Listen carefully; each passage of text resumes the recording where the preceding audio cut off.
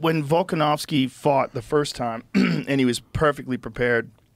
It was an amazing fight. I thought he won. I thought it was very close, but I thought he won. I gave. The, the- I think round two was the difference, and I could see round two going either way, but I gave it to Volk.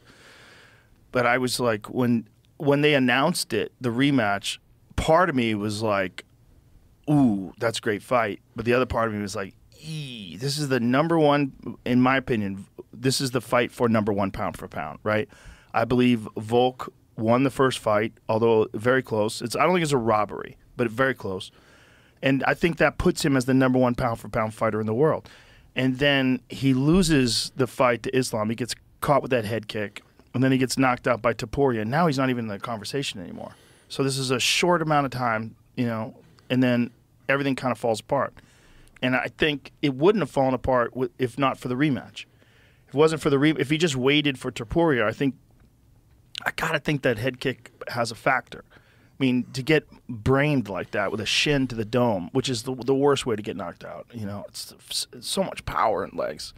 I mean, your legs are you're carrying your, your legs are carrying your body around all day. I don't think people that have never been kicked understand how much more power is in a leg. Yeah, I I wouldn't know. You get head kicked like that, and then you fight the a guy who's obviously the most dangerous boxer in the division in the next fight, and get KO'd. I mean, yeah, it's crazy. I don't know the. I've had a couple concussions from grappling, like accidents, but I don't. Knees and headbutts, clashes. Always Yeah. that one asshole, you know, going crazy. But I don't know really the effects of that. It's so hard to judge. Like it's like, I don't know what testing they can do, but it's like, uh, They can't do much, unfortunately. They they do there there are some tests, but the the reality is every time you get knocked out, it's easier for that person to get knocked out again.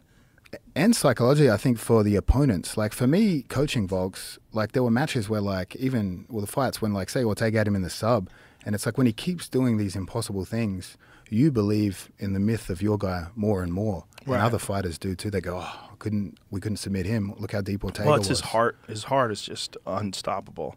But I think when a guy gets clipped like that, everyone else goes. They suddenly have a bit more self belief. So I think Yes. it's like two two factors. Yeah, I think you're probably right. But I think Topuria thought he was going to do that to him anyway. But the, the, I would just love to have seen him fully recover from that. Like when Manny Pacquiao got knocked out by Marquez, Freddie Roach wouldn't let him do anything for a year. He's like, "You're going to take one year off." He's like, "This is the only way. You, you have to." And Freddie Roach, who has trauma-induced Parkinson's from his boxing career, he's well aware of the impact of brain damage and you know, it's it's so tricky because I'm just such a huge Volk fan that I just look.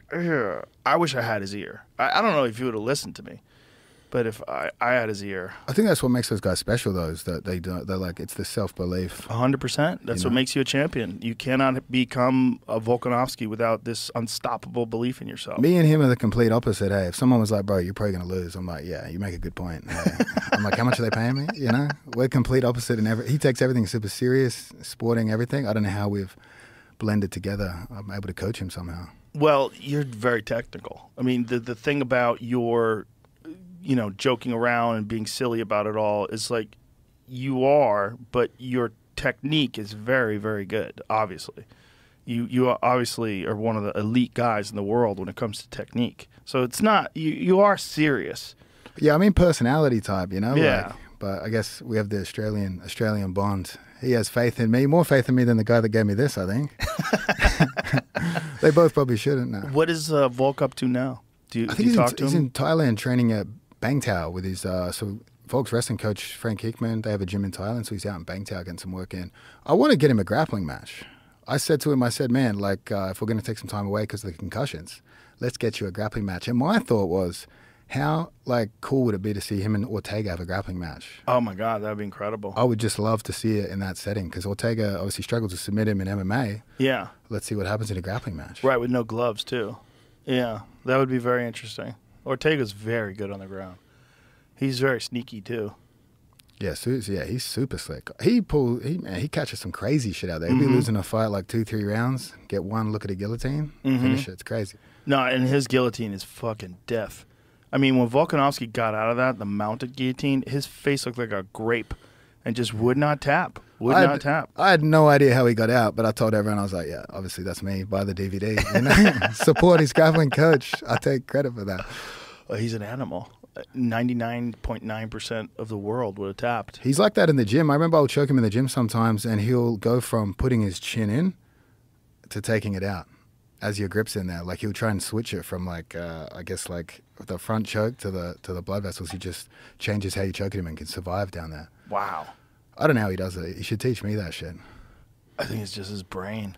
Too yeah, too tough. Yeah, yeah, he's a fucking animal. And so, does he have a plan to come back? Does he? I don't I don't know what's going on. I imagine it's probably Holloway versus Topuria. I think that's going to happen. And then I I, think so. I hope personally we get Volks a grappling match. Maybe we get him at this event. I'm hoping we get him. We get some MMA guys at this event. Is he thinking about doing something like that? Like Uh, you, it has you don't been have a whole lot of time, right? When is this This is August 16th, 17th. Yeah, so not much time. But I mean, if he's in shape, he's training, he's out Bangtao, in Thailand, get some rounds in. I think it's fine, especially against another MMA guy. They both have the same type of training. You know, it's not like he's taking on a pure grappler that's only grappling.